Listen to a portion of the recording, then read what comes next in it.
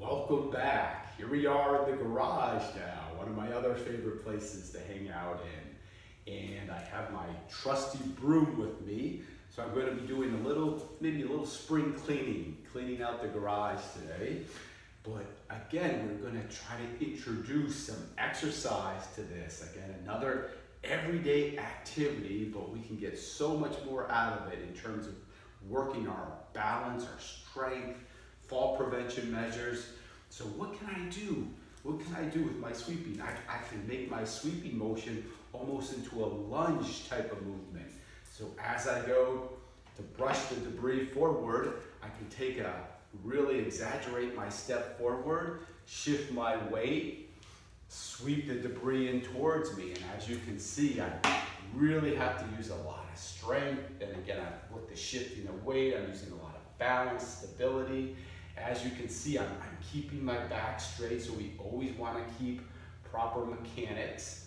I'm shifting my weight, sweeping that debris in, and of course I can always alternate, do it on either side. I have many different directions I can work on with that. I can also work on, on turning. I know a lot of times when we turn, it's, it's also an area where we can lose our balance, so we can learn work on our turning multiple directions, back and forth. We can work on, on sidestepping directions, and again, with that little larger step than we normally would and shifting the weight, side back, stepping the other direction. We can even work on taking some steps going backwards and turning. So you can see the options are limitless on how we can really turn such a a mundane task, I will call it, into a great way to exercise.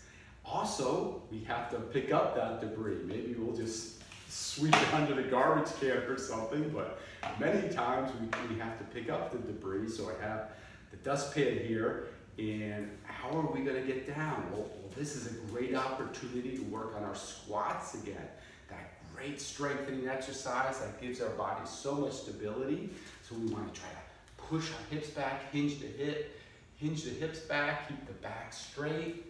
We can lean, squat down, brush up the debris into the dustpan.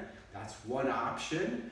We can also, if we want to make it a little bit more intense, for you golfers out there, we can try the old one-legged pickup. So I'm going to be on one leg, my other foot's coming off the ground.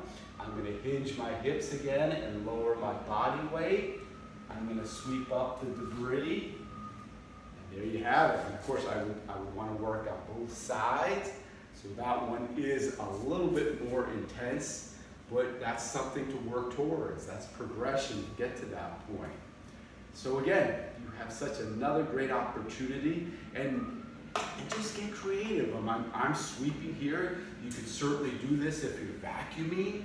You know, many of those same movements multiple directions, different types of weight shifting with a vacuum. Uh, mopping, you know, again, mopping would also be another opportunity where we can employ these types of exercises. So just, again, get creative with this and the activities we're doing anyhow, you'll have an immaculate house and you'll have even better balance. All right, have fun with that.